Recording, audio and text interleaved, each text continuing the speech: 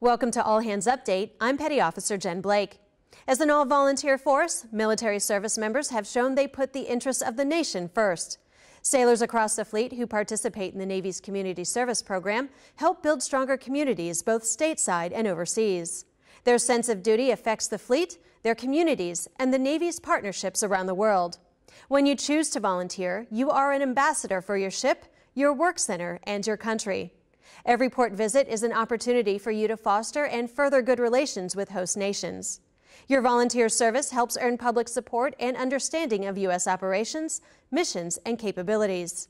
Talk to your command volunteer coordinator to learn more about local volunteer opportunities.